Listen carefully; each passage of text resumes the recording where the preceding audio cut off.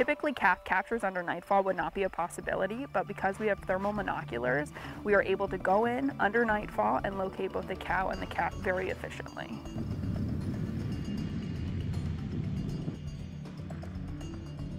This past winter, between the months of January and April, we deployed 50 vaginal implant transmitters that are paired with GPS collars. So each cow gets a collar and a transmitter. That collar is in constant communication with the transmitter to, to, see if and when it gets expelled. When that happens, the collar is able to communicate with us via text and email to let us know that the VIT has been expelled and therefore a calf has been born. The whole purpose of this study is so that we can investigate calf survival and how timing of birth and maternal investment affect our survival rate of calves in Pennsylvania.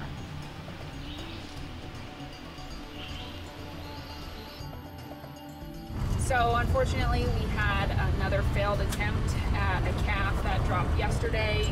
Uh, the mother is in very thick vegetation and isn't allowing us to get close enough to see if she's giving us any inclination as to where her calf is. So we currently have two more calves on the ground in the Quehanna area, which is about 45 minutes away from where we are now. Uh, and it looks like those calves dropped sometime this afternoon. Uh, they are currently a higher priority than this one that we can't find, so we are heading over there uh, to hopefully find some better luck.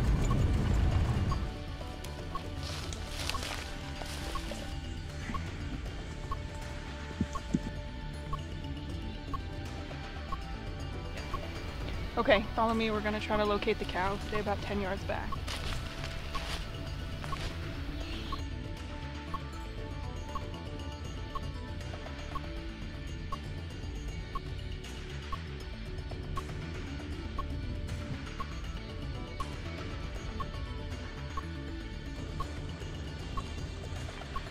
Yeah, I did. Did you look? Oh, you didn't look at it.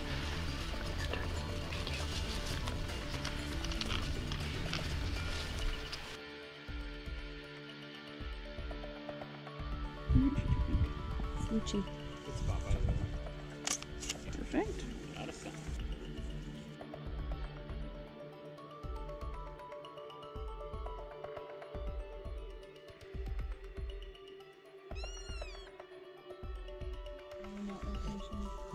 Okay.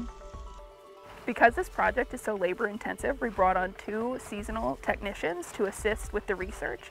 So each calf processing requires multiple people to be there, not only for handling the calf and processing it, but also because female elk tend to show much more maternal aggression than whitetail, for instance. So in certain circumstances, it is very useful to have people on the periphery to keep a lookout for a cow in case she decides to get too close.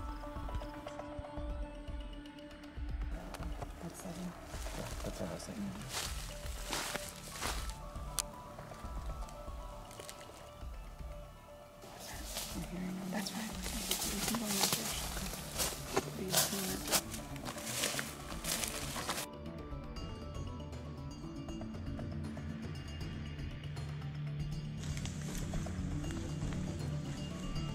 So the first thing we do when we locate a calf is we put a blindfold on it to minimize its stress.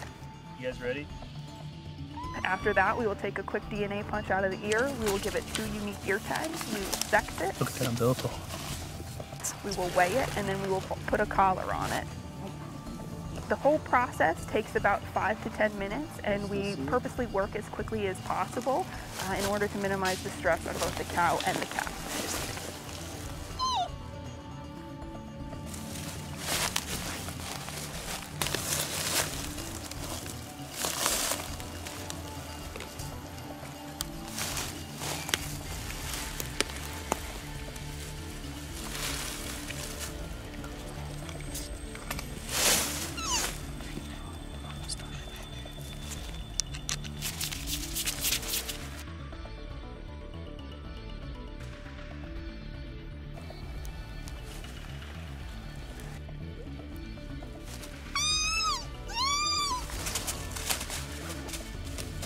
Based on the cow and calf collars locations, we are able to see that they both quickly reunite after release.